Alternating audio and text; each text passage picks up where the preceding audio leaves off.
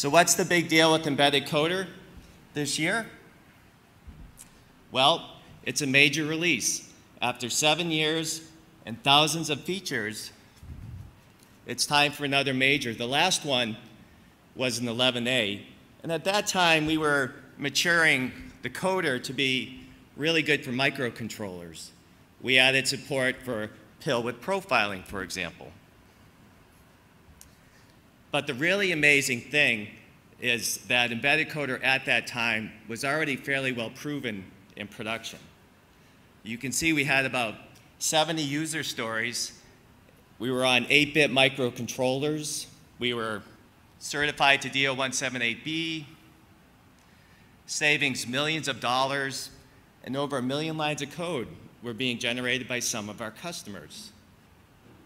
But that's really not why we went major. We did that because MATLAB Coder was introduced and brought a whole new world of code generation technology. You could generate code from your Kalman filter in MATLAB. You could um, bring that MATLAB code into Simulink for model-based design. So it was a really big uh, change for us, and we added uh, signal processing to our production portfolio.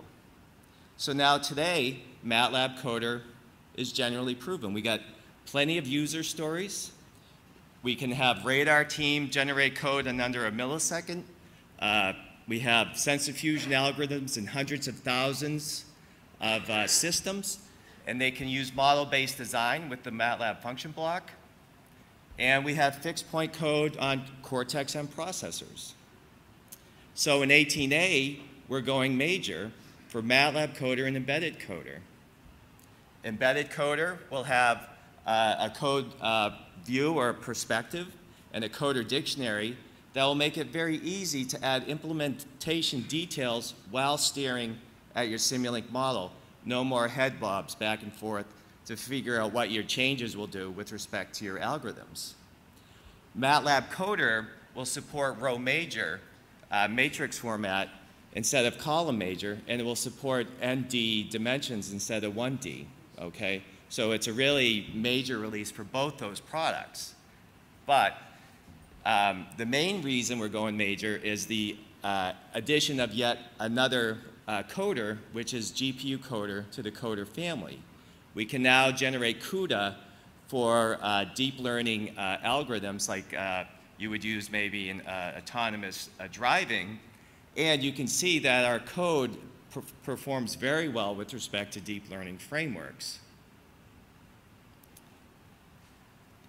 So now GPU Coder is proving it can accelerate deep learning and artificial intelligence. So now we've really rounded out our coder portfolio and have a very nice family of C coders that are all sharing a common engine.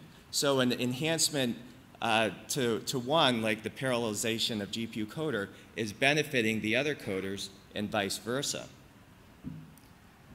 And we need this. The software is exploding. Uh, that one million lines of code uh, seven years ago is nothing compared to a luxury vehicle today, okay? And guess what? Industry experts are saying when you go to automated driving, that's going to be a drop in the ocean. So we really are not that far away, I think, seven years from now, to a billion lines of code in these systems. Okay. So yeah, we can keep adding coders, but at some point, you got to realize model-based design is based on the model. And that's why I'm really excited, okay? Because Simulink is now service-oriented. Simulink can handle um, client-server architectures. It's got pluggable components with Simulink functions.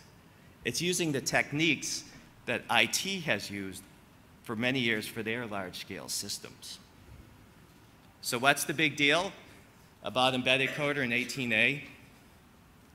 It's that embedded coder is working hand in hand with services-oriented Simulink to generate true C++ and flexible pluggable components for adaptive middleware like AUTOSAR. Potentially, it can now generate billions of lines of code while leveraging its core hard, production hardened optimization certifications and workflows. So that's a great future. Thank you very much.